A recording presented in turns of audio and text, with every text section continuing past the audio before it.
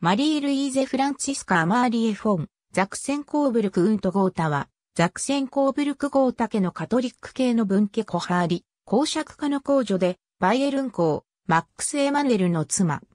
ザクセンコーブルクゴータ公使アウグストと、その妻で、フランス王、ルイ・フィリップの娘であるクレマンティーヌ・ドルレアンの次女として生まれた。弟に、ブルガリア王フェルディナンド一世がいる。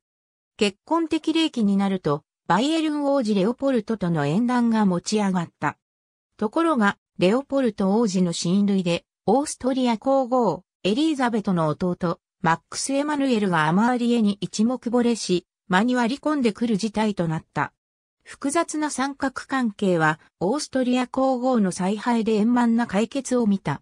皇后エリーザベトはレオポルトをゲデレー宮殿に招き、自分の娘ギーゼラ大公女と見合いをさせた。オーストリア皇帝の娘婿になれるチャンスを逃したくないレオポルトはギーゼラに乗り換えた。1875年9月20日にエーベンタールにおいて、マックス・エマヌエルと結婚した。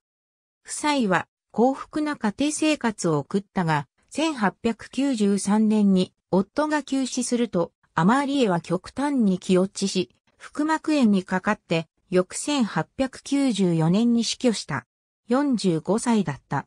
夫、マックス・エマヌエルとの間に3人の息子を設けた。ウィキメディアコモンズには、アマーリエ・フォン、ザクセンコーブルク・ウンと・ゴータに関するカテゴリーがあります。ありがとうございます。